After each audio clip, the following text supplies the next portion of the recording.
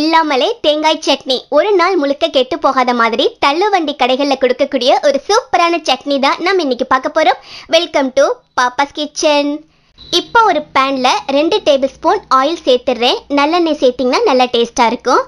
சேர்த்துட்டு ஒரு பெரிய சைஸ் வெங்காயத்தை ரஃபாக கட் பண்ணி எடுத்துருந்தேன். அதை உள்ளே சேர்த்துடலாம்.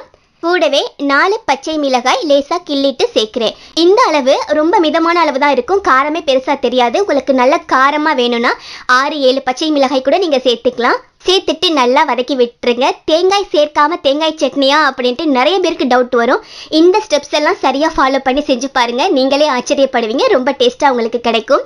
இந்த மாதிரி வெங்காயம் லேசாக வதங்கி வரும்பொழுது கொஞ்சமாக உப்பு சேர்த்துருங்க. இந்த சட்னிக்கு தேவையான அளவுக்கு.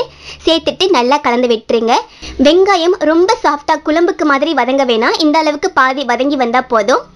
இப்போ கடைசியாக ஒரு கொத்து கருவேப்பிலை இலைகள் சேர்த்துட்டு லேசாக கலந்துட்டு ஸ்டவ் ஆஃப் பண்ணிடுங்க கருவேப்பிலை இலைகள் ரொம்ப வதங்க வேணாம். ஆஃப் பண்ணிவிட்டு இதை தனியாக எடுத்து வச்சுடுங்க. லேசாக ஆறி வரட்டும். இப்போ அடுத்த ஸ்டெப் ஒரு மிக்ஸி ஜாரில் அஞ்சு டேபிள் ஸ்பூன் பொட்டுக்கடலை நான் சேர்க்குறேன். ஒரு பெரிய சைஸ் வெங்காயத்துக்கு அஞ்சு டேபிள் ஸ்பூன் பொட்டுக்கடலை சரியாக இருக்கும். இந்த மாதிரி சேர்த்துருங்க. கூடவே ஒரு பத்து பன்னெண்டு மிளகு நான் சேர்க்குறேன். சேர்த்தாச்சு. இப்போ இதில் நம்ம வதக்கி ஆற வச்சு எடுத்த அந்த வெங்காயம் பச்சை மிளகாய் இருக்குல்ல அதை இதில் சேர்த்துடலாம். சேர்த்துட்டு கூடவே அதே பேனில் கொஞ்சமாக தண்ணீர் சேர்த்துட்டு இதில் நான் சேர்த்துக்கிறேன். சேர்த்தாச்சு. இப்போ இதை நல்லா அரைச்சிக்கோங்க. நம்ம நார்மலாக தேங்காய் சட்னிக்கு அரைப்போம்ல அந்த மாதிரி பதத்துக்கு அரைச்சி எடுத்துக்கோங்க. இது இந்த மாதிரி. பாருங்க எவ்வளோ அழகாக தேங்காய் சட்னி மாதிரியே வந்திருக்குன்னு. ரொம்ப சூப்பராக இருக்குது இப்போ இது ஒரு பவுலுக்கு மாற்றிடுறேன் மாற்றிட்டு உங்கள் தேவையான அளவுக்கு உங்கள் திக்னஸ் பொறுத்த அளவுக்கு கொஞ்சமாக தண்ணீர் அந்த மிக்ஸி ஜார்லேயே சேர்த்துட்டு சேர்த்துக்கங்க.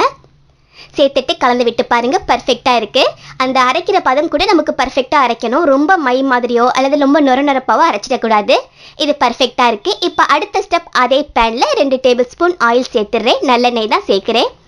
ஆயில் ஹீட் ஆனது கொஞ்சமாக கடுகு கொஞ்சம் உளுந்தம்பருப்பு ரெண்டும் சேர்த்துட்டு நல்லா கலந்து விட்டுருங்க. ரெண்டும் நல்லா பொறிஞ்சு வந்த பிறகு ஒரு கொத்து கருவேப்பிலை இலைகளையும் சேர்த்துட்டு கலந்து விட்டுருங்க. நார்மலாக நம்ம தேங்காய் சட்னிக்கு தாளிப்பு கொடுப்போம்ல அந்த மாதிரி தான் கருவேப்பிலை இலைகள் நல்லா பொரிஞ்சு வந்த பிறகு கடைசியாக ஸ்டவ் ஆஃப் பண்ணிவிட்டு கொஞ்சம் பெருங்காயத்தூள் சேர்த்துடுறேன் சேர்த்துட்டு லேசாக கலந்து விட்டுருங்க. அந்த ஆயில் சூட்டிலேயே லேசாக கலந்து வரட்டும். இப்போ இதை அப்படியே எடுத்து நம்ம அரைச்சி எடுத்துருக்கோம்ல வெங்காயம் பொட்டுக்கடலை சேர்த்து அதில் இதை சேர்த்துருங்க.